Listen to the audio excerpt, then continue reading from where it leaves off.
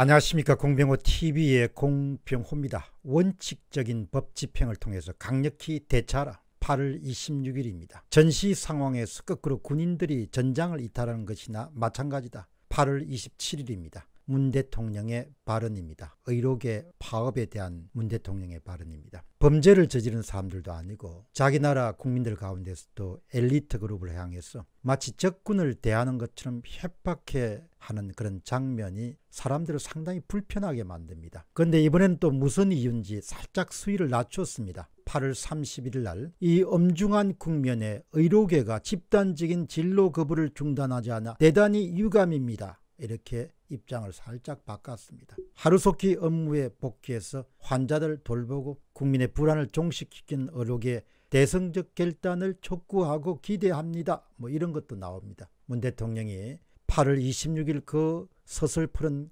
경고, 8월 27일 날 그 협박 비슷한 이야기, 여기서 3, 4일 지난 8월 31일 날 왜 그렇게 입장을 돌변했는지 아직 정확히 알 수가 없습니다. 첫 번째 질문은 문 대통령의 일처리 방식입니다. 사람들은 그가 무슨 말을 하면서라도 항상 그 이면에 뭐가 있나라는 것을 짐작하려고 노력합니다. 그냥 그가 말하는 대로 이해한다가 아니고 저 말 속에 또 무슨 꼼수가 있는가 또 무슨 덫이 있는가 그렇게 의심을 해보게 됩니다. 물론 그렇게 의심해 보는 사람 자체가 문제가 있을 수 있습니다. 그러나 항상 그렇게 의심하게 만든다면 그렇게 만드는 사람들에게 더 큰 책임이 있다고 봅니다. 솔직히 이번에도 마찬가지입니다. 저분이 왜 수위 조절을 하는가 그런 의구심입니다. 방송을 이미 장악하고 있고 언론을 좌지우지할 수 있기 때문에 또다시 의료계를 악마화할 수 있는 그런 선전선동을 할 수가 있습니다. 그리고 완전히 나쁜 집단으로 만든 다음에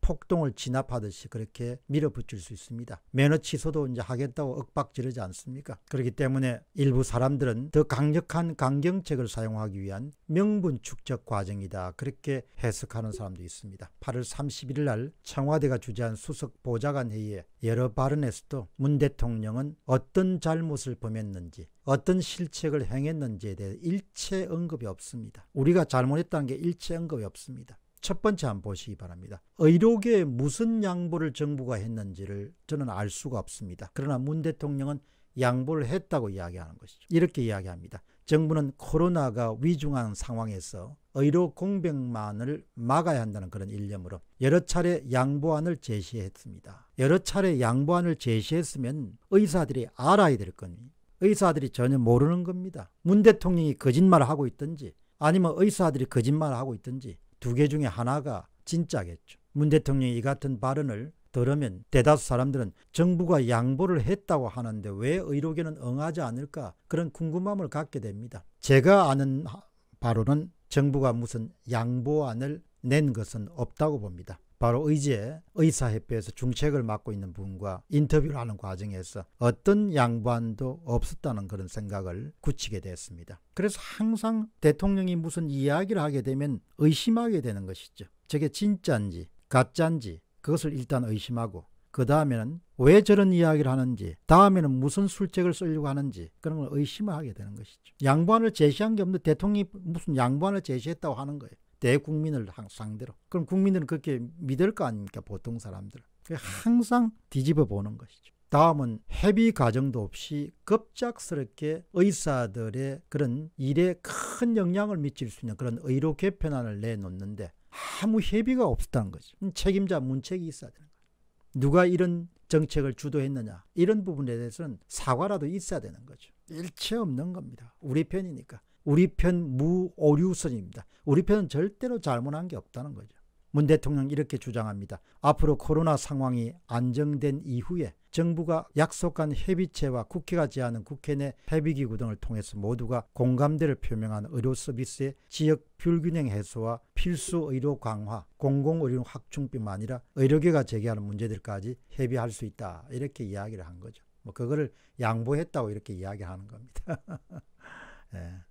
의과대 정원학대, 공공의대 신설 등에 대해서는 의료계와 일체 협의 과정이 없었습니다. 그러니까 탈원전 정책을 추진할 때와 똑같은 겁니다. 제3자의 눈으로 볼 때는 너무 거칠고 무리하다고 보는 거죠. 이번에 주무부처는 보건복지부가 아닙니다. 청와대가 아마 주무적인 일을 대부분 다 맡아서 지시했을 것으로 추측합니다. 반드시 이 부분에 대해서 누가 주무 책임자냐 책임을 져야 되는 거죠. 분란을 일으켰으니까. 이번 작업은 보건복지부 작업이 아닙니다. 보건복지부가 할 수 없는 정도의 그런 위에서 내리 찍은 거죠. 청와대 지시가 없으면 일어날 수 없는 일입니다. 결국은 의료정책에 정치가 개입한 거죠. 정치가.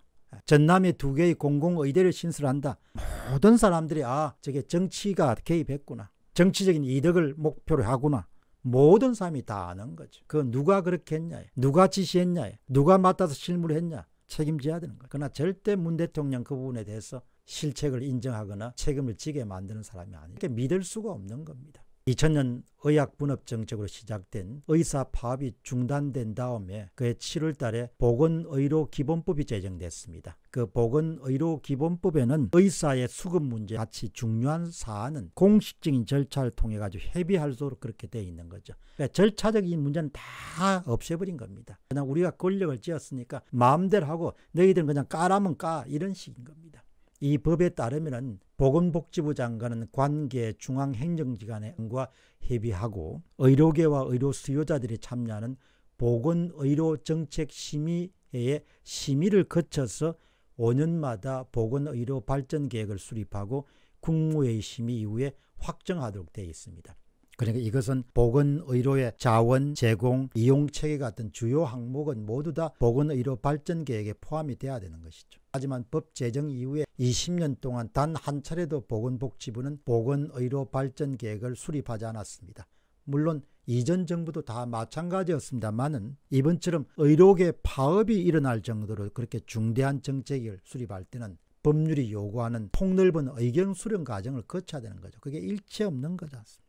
그리고 이 중요한 때 코로나19 때문에 온 천지가 야단 법석일 때 그런 보건 정책을 내놔 가지고 그 의사들을 그냥 대경 실sek하게 만들 필요가 있냐 야 의사들은 기본적으로 전쟁터에 있는 장수지 않습니까? 전쟁을 직접 수행하지 않습니까? 청와대에 있는 사람들이 뭐 그냥 뒤에 후방에 있는 사람들 아무 일도 안 하는 사람들이잖아요. 근데 이 중대한 시점에 그렇게 논쟁이 될 수 있고 논란이 대상이 될 수밖에 없는 그런 정책을 집어내 가지고 그렇게 의사들이 그냥 파업까지 결행할 정도로 그렇게 화를 나게 만들 필요가 있냐에 타이밍도 엄청나게 잘못된 거죠. 이번 사태를 지켜보면서 저는 어쩌면 저렇게 탈원전의 재판일까 아우성처럼 반대를 치더라도 그냥 밀어붙이는 거지 않습니까? 탈원전은 전문가 그룹들만 무력화시키면 성과를 거둘 수 있지만 이번에는 의사들이 다 들고 일어났더니 좀 골치가 아픈 거죠.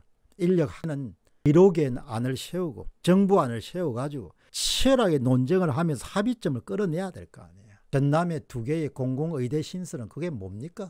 국민정부를 바보로 여기지 않으면 그런 조치를 왜 합니까? 왜 전남에만 두 개의 공공의대를 신설해야 됩니까? 그런 논리라고 하면 전국에 모든 도에다 두 개씩 다 설치해 줘야 되는 거죠. 그래서 난장판이 되는 겁니다. 뻔하지 않습니까? 특정 지역에 영향력을 행사할 수 있는 사람의 자제분들을 의대에 넣으려고 그렇게 만드는 거지 않습니까? 결국 그들이 의료 제도 개편 작업을 통해서 무엇을 하려고 있는지 온 천하 사람들이 다 알아버리게 된 거죠. 그러니까 대통령 말을 아무리 하더라도 믿을 수가 없는 겁니다. 아, 저 양반이 또 거짓말 한구나. 이렇게 받아들이는 거죠. 사심이 끼어 있기 때문에 의료 정책을 세우는데 왜 정치가 개입하냐야. 특정 지역에 편애함을 주기 위해서 왜 정치가 개입하냐야. 그렇게 하니까 사람들이 어떻게 신뢰를 할 수 있겠습니까? 그러나 이번에 8월 30일 날 청와대 회의에서 대통령 발언으로 한마디도 우리가 잘못했다는 그런 게 없지 않습니까? 그걸 그냥 보기만 하면 의사들이 나쁜 사람들이구나 이렇게 받아들이도록 그렇게 이야기를 한 거지 않습니까? 공직을 맡은 사람이 최소한 그런 식으로 처신을 하는 것은 있을 수가 없는 거죠.